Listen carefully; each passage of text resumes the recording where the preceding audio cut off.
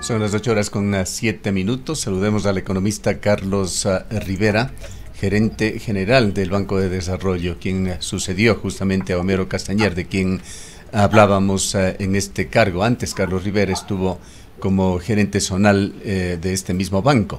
Muy importante conocer la actividad del banco, la situación en la que se encuentra, su relación con los gobiernos locales, los GATS que están clamando por dinero. Ayer eh, reclamaba el alcalde de la ciudad de Cuenca, hoy en este medio de comunicación lo ha hecho el presidente de las juntas parroquiales, hay problemas de financiamiento. Y entre otras cosas, el presidente Novoa planteó a los municipios uh, un cruce de deudas con el Banco de Desarrollo del Ecuador. El análisis de su situación, economista Rivera. Gustavo, buenos días. Rosana, buenos días. Eh, gracias por la invitación. Mire, efectivamente eh, eh, asumí la gerencia general del Banco de Desarrollo los últimos días del mes de diciembre y este primer mes de trabajo ha sido intenso en la medida que la crisis fiscal, la crisis de iliquidez en la que está sumida la economía ecuatoriana, eh, no es, está ajena a la propia operatividad del Banco de Desarrollo. De hecho, en cuanto a los objetivos de un programa económico, no podemos hablar de crecimiento económico ni de desarrollo económico sin estabilidad macroeconómica. Y en ese aspecto, el señor ministro de Economía ha diseñado un programa macroeconómico de muy corto plazo para ir fondeando, para ir obteniendo la liquidez necesaria. Y el mes de diciembre pasamos tumultos, pasamos sustos, pero con, con un gran pilotaje de la nave por parte del ministro Vega logramos capear el temporal. Eh, siempre a la estabilidad macroeconómica se le sataniza. Es un activo intangible. Yo siempre digo que parece como el árbitro de fútbol. Cuando la macroeconomía está bien, nadie habla de ella pero cuando la macroeconomía está mal, uno, todo el mundo se acuerda del árbitro, todo el mundo se acuerda de la macroeconomía, pero si no tenemos las bases macroeconómicas, no podemos hablar de desarrollo. Entonces, en ese sentido, el Banco de Desarrollo, en ese primer mes de trabajo, contribuyó dentro del manejo de la liquidez de la economía, de la programación general de pagos del gobierno central y del Ministerio de Economía por disposición del señor presidente de la República. Acto seguido, hemos comenzado ya a, liderar un proceso de reactivación de la cartera de crédito, Gustavo. Lo peor que le puede pasar al país es generar una contracción de crédito. El, el país necesita un crecimiento económico vigoroso y un motor de ese crecimiento económico es la inversión pública y el Banco de Desarrollo que es un aliado por el, por el desarrollo con los diferentes gobiernos autónomos descentralizados, está comenzando a reactivar la línea de financiamiento. Mire, un logro extremadamente importante es que nos, en este primer mes de trabajo nos hemos igualado con la totalidad de desembolsos que estaban pendientes eh, con todos los GATS a nivel provincial, a, nivel municipal, y ese es eh, definitivamente, eh, nos permite que los distintos proyectos de inversión pública que generan los GATS no se hayan paralizado y comenzamos a regularizar. Naturalmente, eh, la programación de cartera posterior tiene que hacerse con prudencia. Lo peor que podemos hacer los funcionarios públicos es actuar en forma irresponsable, en forma populista.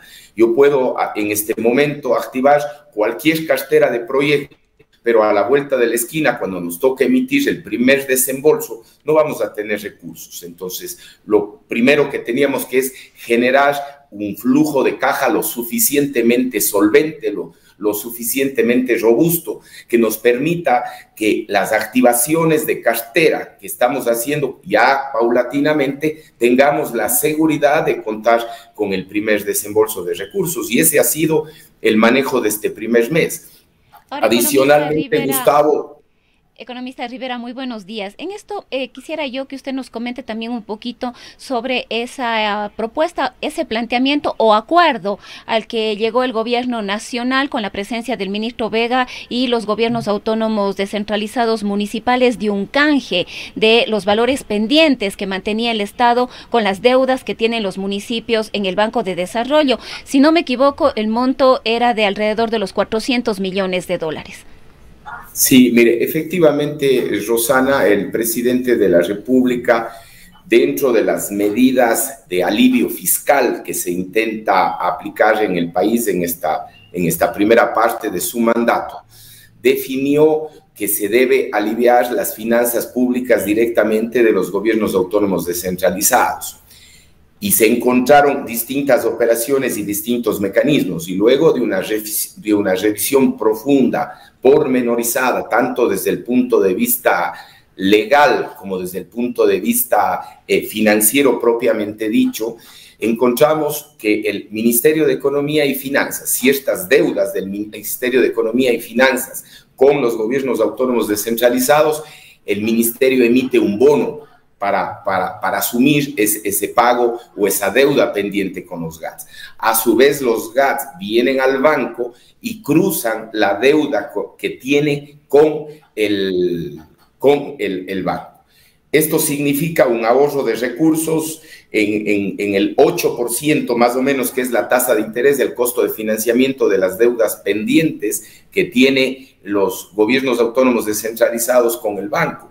Y aquí debo destacar algo sumamente importante y trascendente, en una actitud extremadamente responsable del señor ministro de Economía y del presidente de la República. Y no podía ser de otra manera, porque tampoco como banco hubiéramos aceptado otra cosa que eso. Eh, la, la emisión de bonos del ministerio hace matching financiero con la tabla de amortización de las deudas del GAR con el banco. Es decir, eh, eh, literalmente hacemos un cruces de deudas perfecto en cuanto a plazos, en cuanto a tasas, por lo tanto eso eh, respeta, salvaguarda eh, todos los indicadores de liquidez, de, solvencia de la banca pública más importante que tiene este país. Y eso es lo que nos va a permitir en las subsiguientes semanas y en los subsiguientes meses ya comenzar un proceso vigoroso de de colocación de créditos. Evidentemente estamos todos atados a, la implementación de un programa económico de, liderado por el ministro Vega y por el presidente de la República a efecto de, de enrumbar el crecimiento económico y el desarrollo del país. Economista Rivera, eh,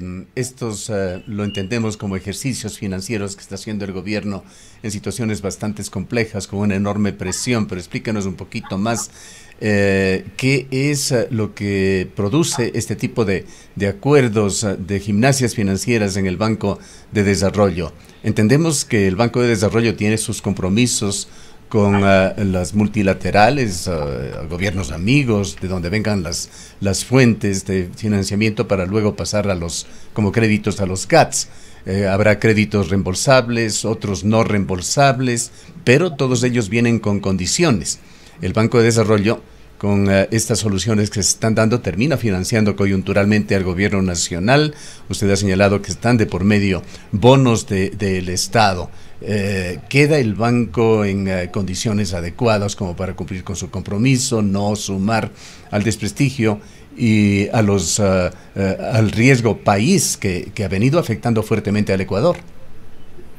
Mire, Gustavo, creo que dentro del, paquete de medidas económicas que eh, responsablemente está tomando el gobierno, nosotros bajo ningún punto de vista, un ápice, no podemos generar que la crisis fiscal le pase factura al sistema financiero. Eso creo que sería el colapso del modelo económico, incluido la propia dolarización. Creo que las personas que hoy estamos en el Banco de Desarrollo, así como en el Ministerio de Economía, somos personas que conocemos el tema económico, somos responsables como el, eh, por el, con el país y toda medida económica ha sido estudiada acuciosamente, eh, Gustavo. Nosotros no podemos poner en riesgo ni la liquidez ni la solvencia de ninguna institución financiera, porque eso implicaría poner eh, e introducir un riesgo en el sistema financiero. Si bien el Banco de Desarrollo no es un banco abierto al público, no hay riesgos de corrida bancaria, pero evidentemente las, los ruidos sobre una institución financiera pueden propagarse a otras instituciones y podríamos generar un, colapso, un, susto en los agentes económicos. Es lo que le preguntábamos. ¿Cómo, la medida que se, blinda el Banco de Desarrollo ante estos riesgos? ¿Me podría repetir la pregunta, Gustavo? ¿Cómo se blinda, cómo se cuida el Banco de Desarrollo de caer en estos riesgos? es que, Gustavo, el cruce de deuda o el, bono emitido por el, por el Ministerio de Economía y Finanzas tiene la misma tasa de interés y tiene el mismo plazo que las tablas de amortización que nosotros tenemos para cobrar de los GATS. Es decir, hace un matching perfecto, ¿no? No afecta ni mi liquidez ni mi solvencia. Este, este de hecho, estamos uh, sustituyendo un deudor. Perdóneme la, interrupción, pero tenemos los problemitas de, estos microtiempos entre ida y venida de lo que nos escuchamos mutuamente, economista. Tengo lamentablemente que interrumpirle a momentos.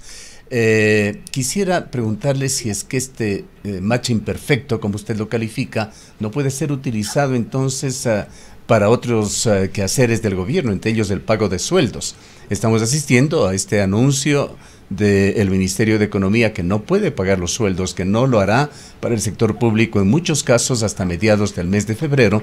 Y esto eh, genera preocupación en la economía, pues es un primer contagio que se da por parte del gobierno de esta crisis fiscal hacia los ecuatorianos de a, pie, en este caso la burocracia. Se ha dicho que el segundo nivel podría venir o se está dando ya con proveedores del Estado, a quienes se les debe 4.500 millones de dólares, 3.000 y algo más nos parece que nos dijo el eh, ministro Vega, pero se maneja esta cifra también de 4.500 millones. Y un tercer nivel de contagio justamente de esta crisis podría venir con estos temas de default, de cese de pago de las deudas de Ecuador con sus acreedores externos. Eh, eh, le reitero, eh, este mecanismo, si es tan, tan efectivo, tan ah, perfecto, ¿por qué no puede ser utilizado por el gobierno para resolver otros problemas eh, que significan un contagio de los problemas ah, financieros del gobierno central, del fisco, con respecto a otros estamentos de Ecuador? Mire, Gustavo, eh, es que son dos cosas totalmente diferentes, pero antes de contestarle exactamente la operación de, de bonos, ¿por qué no se puede generalizar de de, una forma o extenderse de una manera amplia, como usted señala. Eh, mire, el, la situación del país se parece a la de un avión que, tiene que, que no tiene suficiente combustible para llegar a, a, la pista del aeropuerto que estaba planificado y tiene que generar un aterrizaje suave. Y en medio de ese vuelo, sabiendo que no alcanza el combustible, también tiene que reordenar la despensa. El primer éxito del gran piloto, del ministro Vega, ha sido eh, reorganizar la despensa en el mes de diciembre. Estamos reorganizando los temas en el mes de enero y estamos generando una, una programación de caja que nos permita solventar el peor de los costos posibles, que es declarar el default de cualquiera de las deudas del gobierno central. En eso estamos trabajando, en eso estamos interesados en precautelar los recursos, parte de ellos, naturalmente, restricciones de caja enormes, eh, son el, tema de los sueldos y salarios. El ministro de, Finanzas se ha permitido anunciar un, cierto retraso y rezago, pero Gustavo, hay que recordar que esta situación no es una situación que se ha originado en, en hace 10, hace 15 días, hace un año. El país es un un enfermo, un drogadicto fiscal crónico, que sistemáticamente ha mantenido déficits fiscales entre 3 mil y 5 mil millones de dólares, alrededor del 5% del producto cada año. Es tan aberrante o ha sido tan aberrante el manejo de las finanzas públicas que cuando teníamos precios de petróleo de 100 dólares eh, eh, entre el 2008 y el 2015, todavía manteníamos déficit fiscal y todo eso se ha ido acumulando en una deuda pública monstruosa de cerca de 80 mil millones de dólares y que hoy está irrupcionando y que hoy nos obliga a generar no solamente medidas de liquidez, sino medidas de financiamiento y medidas estructurales de corrección de las finanzas públicas a efecto de que eh, esta adicción fiscal nos curemos definitivamente de una vez por todas. Nosotros también somos alcohólicos monetarios, por eso, por eso no podemos emitir dinero. Y esa era la segunda parte a, la, a, su, a su consulta respecto si es una medida tan buena, ¿por qué no se puede extender? Mire, una sustitución de deudas, una, un, un canje de bonos, eso se da siempre cuando existan dos instrumentos financieros con las mismas condiciones de financiamiento, de tasa y de plazo. Eso no se puede generalizar a nivel del país porque estaríamos comenzando a buscar una suerte de ecuadólar, si, si cabe el término, por, por ponerle un nombre, un sustituto del dólar como tal. Nosotros no tenemos la capacidad de emisión monetaria, no tenemos la posibilidad de, de, de, financiar y de emitir una liquidez inmediata que permita reactivar la economía, pero en esas circunstancias, en medio de ese contexto, respetando escrupulosamente al sistema de dolarización, como es las, toda, cada una de las disposiciones del ministro ¿sí? dentro de ese contexto estamos encontrando ciertos espacios para poder realizar cierta reingeniería financiera que nos permita ir dilatando la deuda y las deudas que tenemos de muy corto plazo en el tiempo, sin interrumpir la cadena de pagos, sin generar contracción de crédito, Son, uh, sin 17, capitalizar a las instituciones financieras. 17 mil millones de dólares aproximadamente el servicio de deuda que tiene que afrontar Ecuador en el próximo quinquenio. ¿Es esa cifra correcta? Sí, sí, Gustavo, no, no tengo la, el, los, los valores exactos, pero precisamente nosotros estamos hoy eh, generando un, problema fiscal enorme que necesita soluciones. Y algo más, Gustavo, yo en alguna de las entrevistas que he tenido con, en anterioridad con usted, yo le había dicho y me ratifico plenamente. A veces es muy fácil juzgar desde afuera, desde el otro lado, inclusive desde la academia, porque a veces uno analiza estrictamente los factores económicos, pero cuando uno está tomando las decisiones, como en el caso del ministro Vega, no solamente se tiene que considerar la parte económica pura, la parte técnica, sino también la parte, los conflictos políticos y los conflictos sociales. En términos médicos, diría yo, Gustavo, todos conocemos que la penicilina es un muy buen antibiótico, pero ¿qué sucede si el paciente es alérgico a la penicilina? Se nos reduce el espectro de antibióticos y creo que en ese escenario el, el, ministro Vega y el equipo económico del presidente Novoa está tomando las, las medidas paulatinamente para no generar irrupciones sociales, conflictos políticos, ganando un poco de tiempo hasta que el, el, el, resto de paquetes, el resto de medidas vayan surtiendo efecto y tengamos la posibilidad de atraer inversión extranjera directa, eh, se consoliden las líneas de financiamiento internacionales que se están golpeando con los multilaterales y otros eh, países amigos y que eso nos permita ya comenzar a reactivar la actividad económica. Claro, Gustavo, esto ha generado, ha generado buenas expectativas, uh, uh, economista, entre esto el riesgo país que ha, que ha bajado. Eh, entendemos que una de las razones es por uh, las discusiones que están haciéndose aquí de los decretos económicos urgentes del gobierno, que aún no cuajan, por decirlo así, y por otra parte están justamente esas negociaciones con los uh, multilaterales que ha emprendido el, el, ministro Vega.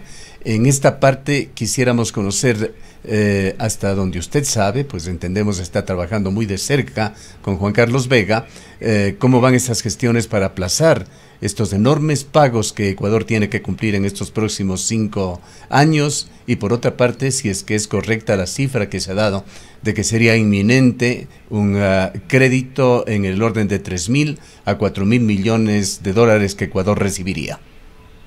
Sí, mire, Gustavo, efectivamente creo que todos los análisis, la información oficial, más o menos bordea que, que la, la, la, la crisis fiscal del, del 2024 está más o menos entre los 5 mil y 10 mil millones de dólares, más menos 7, 8 mil millones.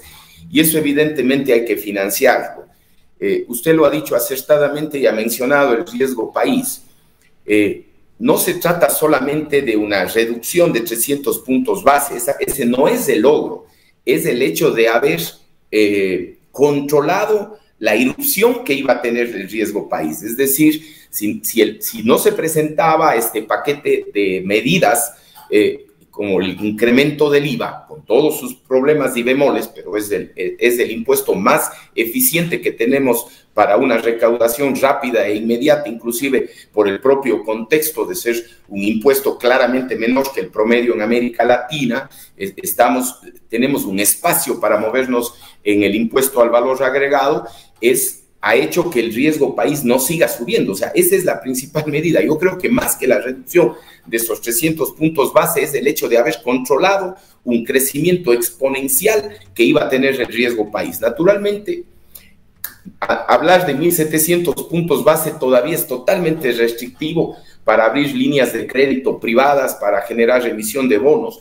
Y lo que estamos eh, generando y lo que está generando, porque eh, evidentemente el equipo económico eh, lo lidera y lo diseña el ministro Vega, nosotros estamos hasta físicamente en, el piso de, debajo del, ministro, pero conozco por dónde está manejándose el programa macroeconómico del, del país está precisamente para generar confianza a los mercados financieros internacionales.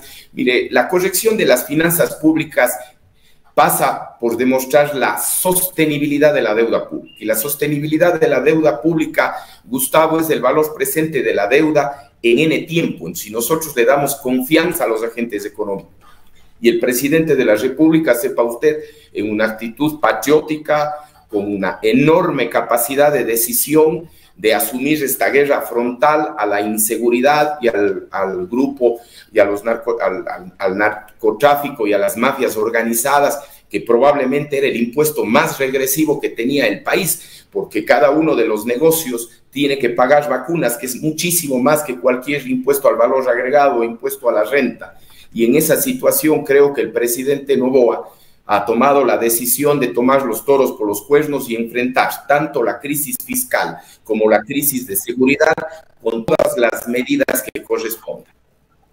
¿Qué tan fundamental ve usted, economista Rivera, el uh, tratamiento de la ley orgánica para enfrentar el conflicto armado, crisis social y económica? Eh, proyecto de, que es materia económica urgente que está tratando la Asamblea. Hoy habrá una importante sesión en la Asamblea para tratar de lograr definiciones, mientras ah, muchos analistas ah, creen, están convencidos de que finalmente eh, este proyecto pasará por el Ministerio de la Ley. ¿Cuál es la importancia que tiene este proyecto Mire, Gustavo, es, es, una señal sobre todo, porque si usted considera el impuesto al valor agregado, más o menos hablamos de mil millones de dólares, pero es una señal de que el Ecuador está comprometido en corregir de una vez por todas los desequilibrios fiscales. Esa es la señal que debemos enviar al mercado financiero internacional. Eh, el IVA Inclusive en, algún espacio la, Universidad de Cuenca y, mi muy buen amigo Rodrigo Mendieta, un experto macroeconómico de primer nivel, presentó un estudio, tuve la oportunidad de leerlo indicando que el IVA es regresivo. Evidentemente la evidencia empírica estaría sustentando lo que conocemos en teoría, sin embargo, me parece que es un análisis parcial de, Rodrigo en el sentido de que la regresividad del impuesto no se analiza solamente del IVA, sino del total del sistema tributario. Inclusive los buenos manuales de finanzas públicas nos, nos enseñan que eh, la regresividad se, se, analiza incorporando el gasto público. Entonces, cuando uno introduce eso, ese resto de datos, ese impuesto no es tan regresivo como, como, como parece señalar a priori.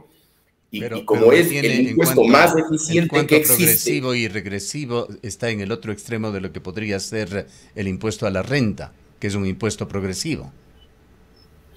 Mire, cuando, cuando usted tiene un crecimiento económico paupérrimo, cuando tenemos una economía anémica, Gustavo, desde el año 2015 este país no crece.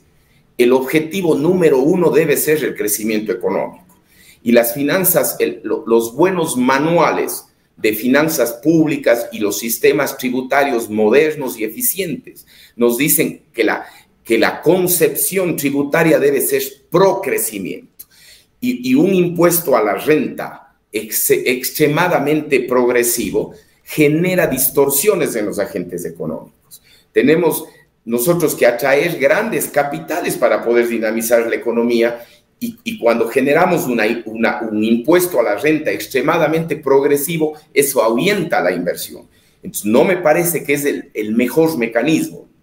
Eh, el, IVA es, un impuesto en el contexto que tiene el país, en la urgencia de, con objetivo de recaudación, con objetivo de eficiencia, de menos distorsión de los agentes económicos y con, con, y con todas las excepciones tributarias que tiene el IVA que le hace ser menos regresivo de lo que en teoría aparece y más la concepción que le digo yo de que la regresión se analiza en términos de todo el contexto tributario, me, me parecería, me parece que fue una, un acierto del ministro de Economía muy sensato eh, eh, esa propuesta al país de incremento del IVA, Gustavo y Rosana. Para, para finalizar, uh, economista Rivera, y en su calidad de eh, eh, gerente general de, del Banco de Desarrollo del Ecuador, ¿qué mensaje les da usted a los GATS locales que de diversas formas se manifiestan? También a los proveedores del Estado locales que están sufriendo por la situación.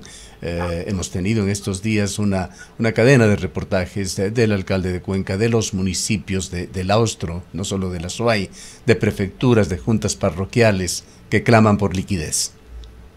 Mire, Gustavo, eh, dos cosas.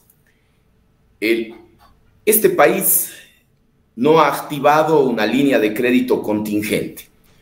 Eh, desde que yo he, asumido el Banco de Desarrollo, tengo la, el objetivo de, de obtener una línea de financiamiento contingente, que signifique que para la próxima crisis y baja del ciclo económico, cuando el precio del petróleo se reduzca y cuando el ministerio y las rentas desde el Ministerio de Economía y Finanzas se reduzcan, nosotros como banco podamos activar una suerte de sustituto de esas transferencias.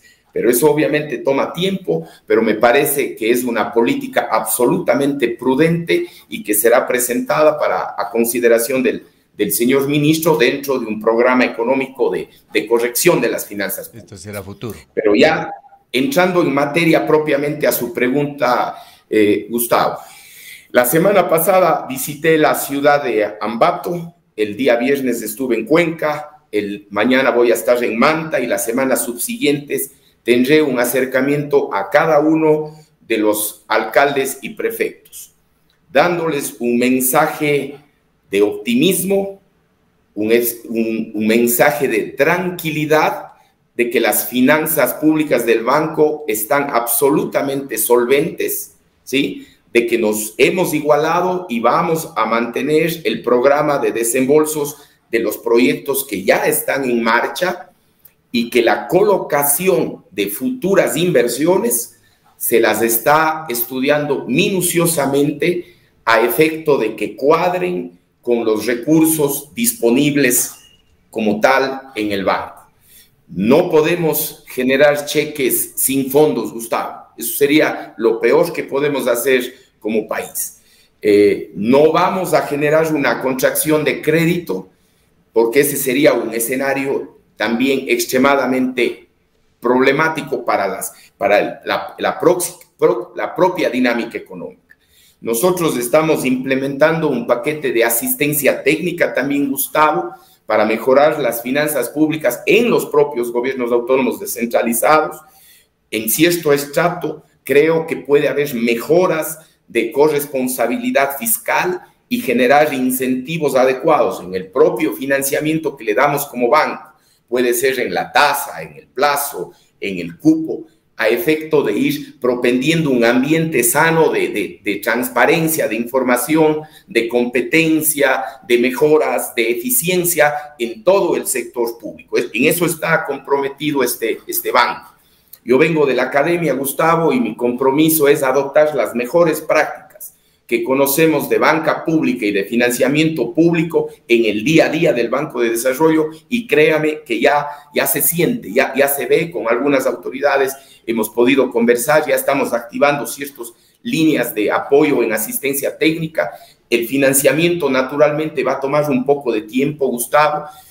Tenemos líneas Usted en la primera parte de la entrevista, y se me fue, usted mencionó ciertos compromisos con los multilaterales. Eso está intacto, Gustavo.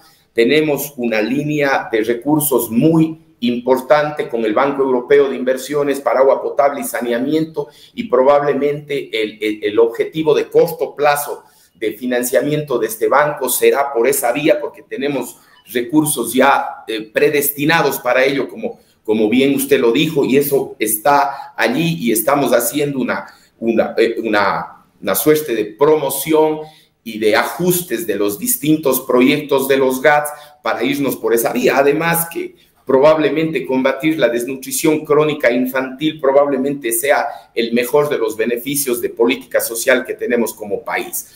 Tenemos también un programa de otro de viales, de maquinaria, de infraestructura urbana que se van a ir soltando poco a poco en la medida que los recursos vayan fluyendo al país y que la economía se vaya eh, vigorizando, si, si cabe el término. Yo el compromiso con el señor presidente de la República y con el señor ministro de Economía es de hacer de esta banca un manejo técnico, un manejo escrupuloso de los recursos, un manejo financiero, cero tolerancia a la corrupción, Gustavo. El mensaje es que en este banco no se necesita tramitadores, no se necesita facilitadores. Todos los proyectos tienen las mismas probabilidades de ser eh, aprobados ¿sí? En la medida que cumplan los indicadores, estamos trabajando en una matriz de priorización de proyectos técnicos, con variables de tiempo, con variables económicas. otra cifra que me gustaría confirmar con usted, aquello dicho por la canciller Sommerfeld en el sentido de que en el gobierno anterior se descuidaron, se dejaron eh, sin el debido tratamiento, sin continuar su hoja de ruta programas por el orden de 1.500 a 2.000 millones de dólares de fondos para programas sociales. ¿Es esto verdad? Eh, no conozco la cifra, Gustavo, pero la que sí le puedo decir, y es algo que vamos a destrabar y, esperemos hacer, iniciar el destrabar hoy mismo, tengo una, una reunión posteriormente, tenemos 60 millones de dólares que está durmiendo el sueño de los justos por, por, por la burocracia. ¿sí? Y, vamos a tratar de destrabar, el, eh, comenzar a destrabar el día de hoy y que esos 60 millones de dólares fluyan directamente a los municipios. Ese dato sí lo conozco porque está cercano a, mi, a mi agenda. ¿De qué, ¿De qué fuente viene eso? ¿Cuál es la contraparte? Hay unos fondos, unos recursos que eh, por una concepción burocrática de manejo de un programa de financiamiento de ayuda internacional, se burocratizó, no se reunieron los, los, los entes responsables y, tenemos 60 millones de inmovilizados, pero que repito, voy a tratar de comenzar a destrabar el, precisamente hoy. Con esto sí finalizamos, nos hemos extendido, pues es muy interesante todo lo que usted nos ha comentado, economista Rivera, pero eh, termino con esta eh, pregunto, eh, pidiéndole más bien su opinión sobre las críticas eh, que se han dado en el sentido de que el gobierno, el gobierno de Novoa, me refiero por supuesto, no tiene aún un plan económico de que viene apagando incendios. Esto lo han dicho, entre otros, en este medio de comunicación colegas suyos, entre ellos un ex ministro de Economía, otro ex gerente del Banco Central. Mire, Gustavo, yo creo, y le dije hace un rato y me voy a ratificar plenamente, cuando usted dice no tengo programa económico es porque precisamente nosotros somos adictos a ciertos temas, somos alérgicos a cierta medicina que nos reduce un campo de maniobra. El ministro de Economía ha hecho una extraordinaria labor en estos dos meses ha capiado el temporal y ha evitado el default, que hubiera sido realmente grave para este país. Y se está diseñando un programa económico que respeta los temas, los conflictos políticos y los conflictos sociales. En anteriores entrevistas yo también le decía, Gustavo, a usted, si el ministro Vega pudiera generar un programa económico en la Escuela de Economía de la Universidad de Cuenca, sale el humo blanco rapidísimo y tenemos un programa en marcha. Pero nos toca lidiar con un año electoral, nos toca lidiar con líderes sociales, con conflictos políticos potenciales, con movimientos sociales y nos toca eh, precisamente generar un programa económico que respete todas esas, esas divergencias, esa disparidad de criterios. Y dentro de ese contexto, dentro de ese disenso, el ministro de Economía no solamente que ya ha hecho un buen trabajo, sino está diseñando un programa macroeconómico que, que aceptando esas diferencias, que aceptando que no puede quitar la droga porque va a generar un problema en el paciente, de que no puede tomar un medicamento porque es alérgico. En ese contexto está manejando el país del ministro Vega y lo está haciendo de extraordinaria manera y además que es un hombre responsable y serio, no está pensando en el próximo proceso electoral, sino más bien en el futuro del país. Muchísimas gracias por uh, habernos atendido. Gustavo, un buen día, igual a Rosana. Declaraciones del economista Carlos Rivera, gerente general del Banco de Desarrollo del Ecuador. Son las 8 horas con 43 minutos.